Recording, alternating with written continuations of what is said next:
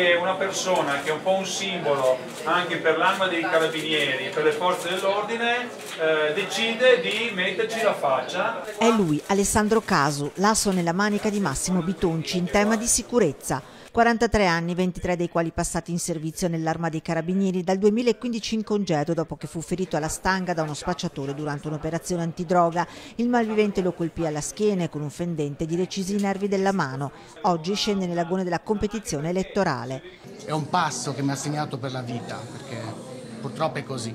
Però la politica sarà un forte riscatto per me sicuramente. E così Massimo Bitonci dà una nuova sferzata alla campagna elettorale cavalcando il suo cavallo di battaglia, la sicurezza. Rivendica il lavoro fatto nei due anni di sua amministrazione. Dalla modifica del regolamento di polizia municipale in poi, all'assunzione degli agenti, al lavoro degli agenti in, in, in, strada. Ai controlli degli appartamenti, al decentramento di agenti di polizia municipale, alla guizza e presto spera anche la stanga, ma ancora molto dice c'è da fare e caso potrebbe essere l'uomo giusto al posto giusto. Ognuno darà il suo contributo in un modo o nell'altro, quindi nulla è escluso. E sulla sicurezza Bitonci non accetta lezioni tantomeno dal suo diretto concorrente. Qualcuno arriva l'altro giorno e dice ah faccio io, sono io esperto.